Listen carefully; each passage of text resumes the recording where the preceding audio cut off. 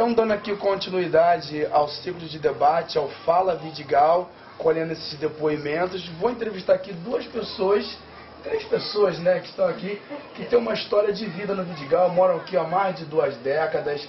Dona Rosa me viu pequeno, a Ida também. E a pergunta é o seguinte: o que vocês acham do Vidigal? Olha só, a gente gosta do Vidigal, né? Tanto é que nós estamos aqui há décadas, como você falou, né? Mas tem muita coisa que está deixando a desejar. Fizeram o asfalto aí na rua da Benedito Calixto, quebraram as calçadas dos moradores e continuou quebrada. Tem melhoramento? Tem tido melhoramento, óbvio, né? Tem que ter prejuízo no melhoramento, mas não assim pro, né? Exatamente. Para a população, no caso, né? É, Está muito tumultuado agora o Vidigal. Isso acho que é um progresso. é o progresso, É né? progresso que Então, Tá é- é- essa, essa questão de- dessa, desses estrangeiros que hoje em dia passam por aqui, isso você acha que contribuiu? Isso você vê diferente? Povos falando idiomas estranhos ou novos no- ao nosso, ao Mas nosso eles aprendem a nossa linguagem. Eles aprendem a nossa linguagem aos pouquinhos. E nós também compreendemos eles também. Se vocês puderem deixar uma mensagem para o Vidigal. Avante, Vidigal. Sempre para frente. O que, que o senhor acha de morar no Vidigal? O senhor gosta de morar no Vidigal? Adoro isso aqui. Adoro. O que, que é bom aqui? É tudo. Digo, é, tudo é bom. Só, eu, só tá de ruim a, a manutenção que eles estão dando. Tá, ver as tampas de, de, de esgoto, tudo quebrado, tudo aberta. Ah, Não é toda, é um pedaço. Aí você vê ratas saindo, você vê barata saindo. Isso vai tudo para dentro da sua casa. Não é coisa que dentro da sua casa. Você dá pé, dá cara com rato dentro da sua casa. E não é rato não, é ratão. Nós temos que nos livrar da violência. Nós temos que dar cultura às crianças para que elas possam mais tarde ter um, um- um campo de visão maior para não entrar numa coisa que depois elas não vão sair. Se ela tem conhecimento, ela vai, mas ela tem conhecimento daquilo que ela vai fazer. É diferente. Então são, são duas coisas que têm que existir. É claro. É, a, a cultura dentro da- da- das famílias, a educação que um pai possa dar, que eu vejo que tem, que existe. Né? Eu conheço muita, muita gente aqui formada. E isso é uma coisa que eu espero. Eu não quero que isso termine, que isso continue. Que é através da cultura, através da, do esclarecimento que as pessoas vão é, melhorar suas vidas. Agora, vocês têm uma remoção de uma outra forma do Vidigal hoje em dia que tem esse glamour? Todo mundo quer o Vidigal, o Vidigal na novela, é o Vidigal que é o, o preço do, do quilo de feijão tá 5 mais caro, reais. mais caro. E o que, que você acha desse Vidigal hoje? Isso é consequência de- do- desse progresso né, do Vidigal. É Nada é de graça, né? Você ganha de um lado e perde do outro. Né? É aquela, aquela tranquilidade que nós tínhamos, né? E depois veio outras coisas, mas tem coisas muito piores, tem o narcotráfico. Né?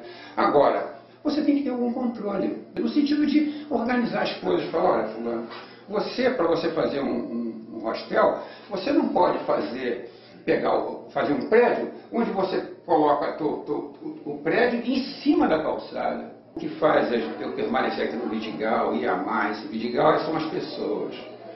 São as pessoas, esse convívio que a gente tem aqui.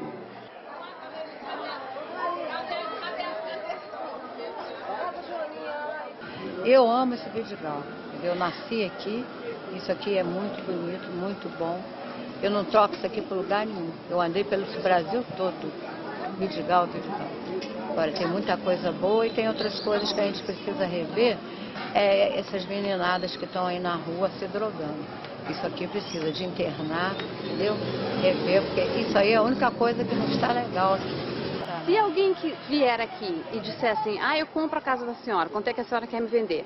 O que, que a senhora diria? Não, não vendo, porque aquilo foi feito um tijolinho carregado, entendeu? Com muito sacrifício. Eu ganhando salário mínimo, eu fiz a minha casa e a minha família toda mora ali. Então eu não saio dali. O que você espera do Vidigal no futuro? Assim? Eu, tenho, eu temo que, o Vi- que um dia o Vidigal se transforme numa Grécia no- na qual eu não esteja mais morando aqui, que eu olhe do Leblon as casas todas pintadinhas de branco e a burguesia aqui dentro, tomando conta desse lugar. E vem essa mudança positiva, mas conosco aqui, que a gente possa desfrutar, disso tudo, sabe? E o morador, de certa forma, usufruir, né? Exatamente. Olá, tudo bem? Ah, licença.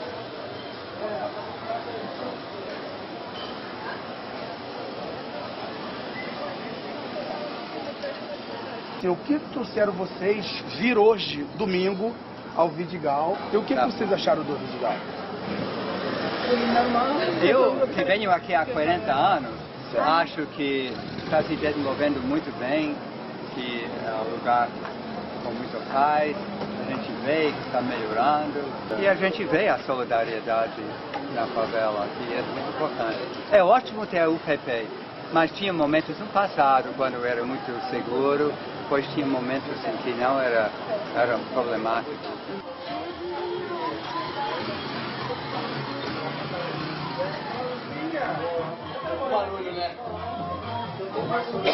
Então, é, só recapitulando aqui, a, a, a remoção foi numa época da ditadura, né? Foi, foi pegando a ditadura. A primeira ameaça foi em 67. Deve ter tido antes outra, né? Dizem que de 10 em 10 anos tinha essa ameaça para evitar que a gente tivesse um escapião, né? Que naquela época era conseguido quando você tem 10 anos morando num local sem que nenhum proprietário se manifeste. Então o proprietário daqui se manifestava a cada 10 anos para evitar que a gente pudesse entrar com um pedido de escapião. Certo. Vamos parar um pouquinho aqui. Aqui é a sua casa. Aqui também foi uma, uma base do tráfico. Como é que tu convivia com isso, essa, essa relação? Tu já pensou em vender sua casa? Tu já pensou em... Pensei. Já, já dormiu no chão? Tu já não, pensou... não cheguei não, porque como era alta, eu não, não tinha muito esse problema, não. Mas pensou, né? Todo mundo pensou em sair daquele dia. Muita gente aproveitava esses momentos de guerra né, para comprar casa mais barata, né? Gente, perguntar pra vocês, olha, o que você acha do Vidigal? Essa pergunta é, é importante, que dá a oportunidade da gente estar tentando conscientizar o morador desse processo que nós estamos vivendo hoje. A pessoa pode estar chegando há pouco tempo, que não tem ideia da história do Vidigal, né, falar assim, poxa, pobre no Vidigal, de frente para o mar, mas o cara não sabe o que custou isso para a liderança na época. O morador precisa valorizar o espaço que ele tem aqui. Ele precisa saber se ele chegar e vender o espaçozinho que ele tem, por menor que tenha, por 100 mil reais, ele não vai comprar nada em nenhum lugar. E quando você fala 100 mil reais, o cara, porra, realmente, porra, caramba, 100 mil na minha mão, mas ele não vai fazer nada com esses 100 mil, ele não vai comprar nada que valorize os, a, a família dele, que dê conforto à família dele. Graça, o que você espera do Vidigal no futuro? Olha, o que eu espero é que as pessoas aqui no Vidigal valorizem seu pedacinho de chão. Mas do jeito que eu vejo que está indo, daqui a pouco o Vidigal vai ser uma, um, um bairro de gringos. Nada contra eles. É ótimo essa convivência. Nada contra, porque vai pensar que eu estou contra. Nada contra. É bom essa convivência, mas não exagerado. Deveria a associação, alguém, especular melhor a vida dessas pessoas que estão vindo para cá, por que veio e o que estão buscando aqui na nossa comunidade. Só isso. Silvia, o que, que você acha da comunidade que você mora, do nosso Vidigal? Eu acho uma comuni- comunidade maravilhosa, muito boa para se morar, né? só que, porém, tem um probleminha, né? que são os animais abandonados. É falta de educação das pessoas é, em relação à proteção dos animais. As pessoas se abandonam muito, não esterilizam. Esse é o grande problema que eu vejo aqui na comunidade. A gente está aqui no lugar mais alto do Vidigal, entrevistando também aqui nossos amigos, moradores do Vidigal. Então vou começar pelo Guilherme, perguntando pro Guilherme o que, que ele acha do Vidigal. Faz uns sete meses que estou aqui morando aqui. É, eu acho um lugar muito bom de morar, assim. É um lugar bem agradável. Eu nunca sofri de, de problemas assim de integração por ser estrangeiro até hoje. Então eu acho um lugar bem Até hoje eu acho um lugar bem tranquilo e bem legal de morar. Das pessoas que eu conheço aqui de fora, eu acho que a maioria das pessoas estão querendo ajudar. A coisa é como ajudar, com o seu tempo, assim, com quem, aonde, mas se tiver alguns projetos assim, eu acho que muitas pessoas aqui gostariam de ajudar, porque não é aqui só para aproveitar sem dar em volta assim. Todo mundo está querendo conhecer mais, ganhar de um lado, mas ganhar do outro também e dar um pouquinho de, do que eles estão ganhando aqui. Eu, na minha opinião, eu acho que tem que conversar com as pessoas que têm as suas, suas residências, que já existem ali há mais tempo, é ouvi-las realmente, talvez aconselhá-las a não vender suas casas. Então eu acho que o Vidigal hoje tem uma grande porte de pessoas que vivem no Vidigal por opção. Eu moro no Vidigal há 40 anos e fui uma das primeiras pessoas a, a, a fazer a fusão da favela e da não favela. Porque eu nunca tive diferenças. Eu acho que o ser humano não tem diferenças. O sentimento humano não tem classe social, não tem é. partido político e nem religião. Sempre joguei com o sentimento. Isso foi minha vida toda no Vidigal. E eu acho que tem outras pessoas que devem estar chegando que também têm esse sentimento. Né? Então, Guti, o que você espera do Vidigal? Eu espero do Vidigal que todas as crianças, que todos os adolescentes, que todos os adultos é, tenham toda a oportunidade na vida